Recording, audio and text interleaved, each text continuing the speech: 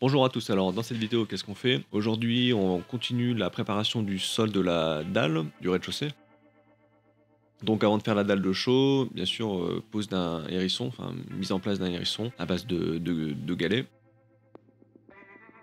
Donc ça fait suite euh, au décaissage qu'on avait fait il y a deux ans avec des copains, avec, quand on a fait rentrer la mini-pelle avec les camions et tout. Euh, entre temps j'ai pas eu le temps, j'ai avancé sur d'autres choses. Donc là je continue un peu la dalle. Donc euh, maintenant plus de mini-pelle, donc j'ai tout fini à la pelle-pioche, pelle-pioche et euh, râteau. Donc là le plus simple c'était de remplir des seaux et de, après de rebasculer les gravats des seaux dans les sacs.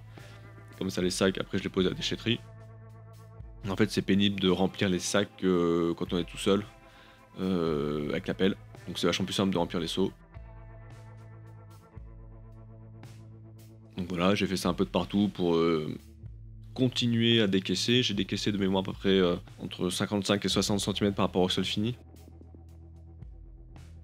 En fait, ce qui correspondait aussi, et je vous le verrai plus tard, à la profondeur, euh, à la profondeur du, du drain qui avait déjà existant.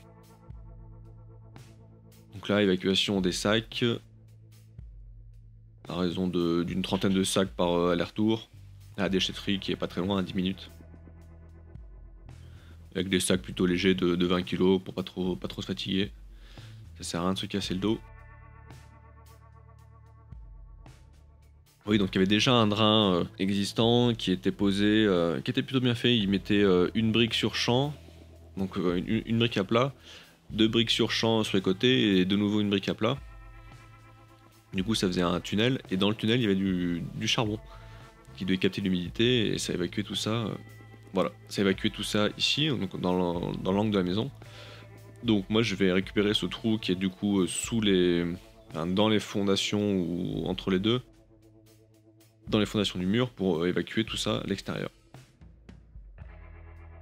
Donc là, le, j'attaque j'attaque près du, mur parce que ça avait déjà été fait en fait. Donc je continue euh, à faire ça sur cette partie-là, notamment dans la porte. Sur tout le reste de la maison, j'ai pas fait. J'ai laissé euh, un biais assez conséquent pour pas attaquer les, fondations, voire les non-fondations de la maison.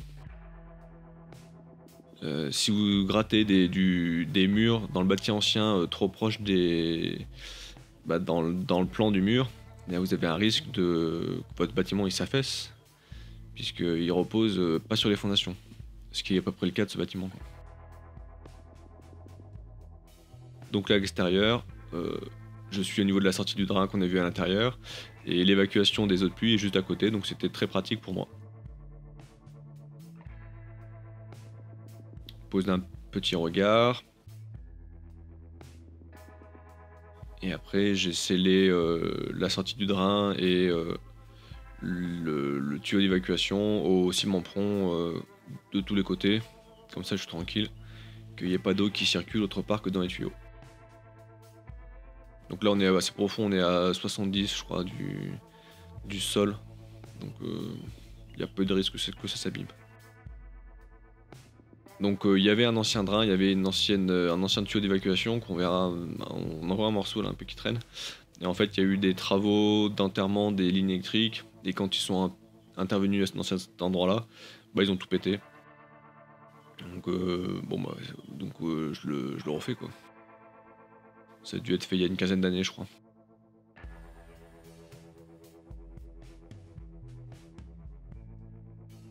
Et donc aussi, mon drain servira aussi à ventiler mon hérisson. Donc j'ai une sortie euh, près de la porte d'entrée. Et là, j'en fais une euh, sous le mur pour, euh, pour que l'air puisse circuler. Et donc les deux longueurs entre les deux sorties sont similaires en termes de longueur. Ce qui fait que l'air, en principe, c'est qu'il aura autant d'un côté que l'autre.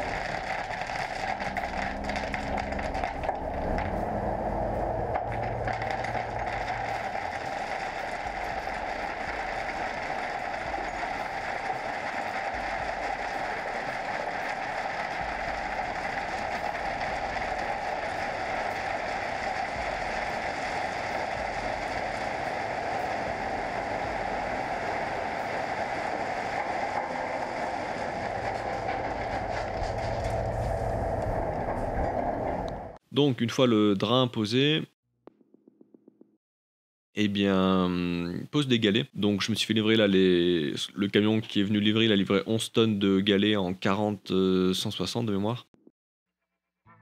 Donc, en fait, euh, à l'extérieur, moi je faisais le tri, je prenais les plus gros possibles au fur et à mesure. Et Gabriel les mettait en place donc euh, sur champ et de manière la plus verticale possible bah, pour former un, un hérisson en fait, euh, d'où le nom du truc quoi. Ça serait un petit peu comme l'équivalent de plein de petits pieux pour euh, s'éloigner un peu de l'humidité, euh, pour pas que ça vienne euh, dans la dalle de chaud qui sera posée cet été si, si ça passe. Donc au fur et à mesure, on met les plus gros, les plus gros galets au fond, tous sur champ. Après, on met un peu les galets moyens, et après des galets genre du 20-40 par-dessus quoi.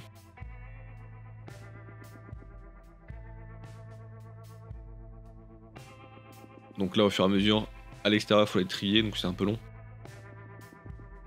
Voilà, bah, c'est exactement ce que je vais faire ici. Donc là, comme ça, ça vous donner une idée un peu de du temps que ça passe, quoi.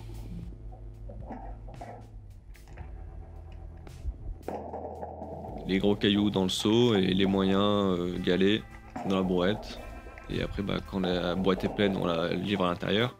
Et quand il y a 4 seaux, bah, on remplit une boîte et puis ça fait une boîte de gros et voilà, et on recommence.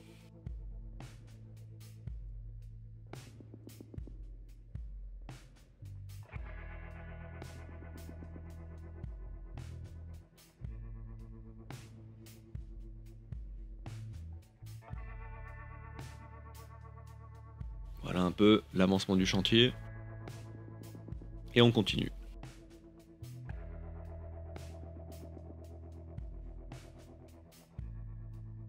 Donc là, mettre les galets en place, euh, ça nous a pris à peu près 4 jours.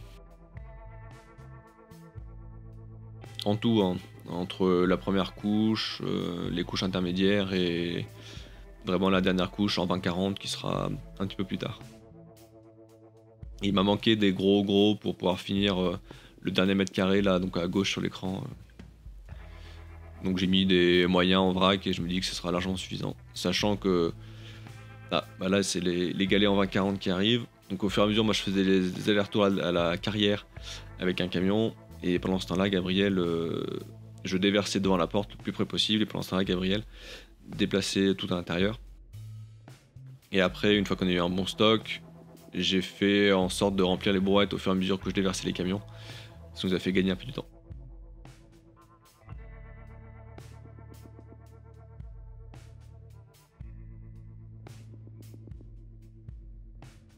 Donc là on voit bien la différence de taille entre les moyens et les petits.